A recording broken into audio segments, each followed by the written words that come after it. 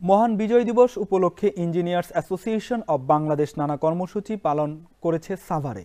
আমাদের সাভার প্রতিনিধি আনিসুর রহমানের পাঠানো তথ্য ও ভিডিও চিত্রে জানা যায়, সংগঠনের পক্ষ থেকে জাতীয় স্মৃতিসৌধে ফুল দিয়ে শ্রদ্ধা নিবেদন, প্রতিষ্ঠা বার্ষিকীর কেক কাটা, সদস্যদের মাঝে ক্রেস্ট বিতরণ, আলোচনা সভা, মুক্তিযুদ্ধে শহীদদের রুহের মাগফিরাত কামনা করে দোয়া মোনাজাত করা হয়।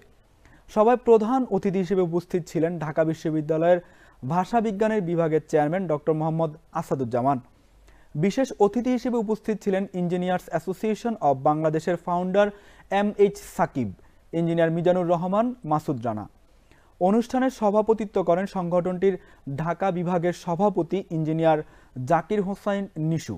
এছাড়া বিভিন্ন ইভেন্টে বিজয়ীদের মাঝে পুরস্কার বিতরণ করা হয়।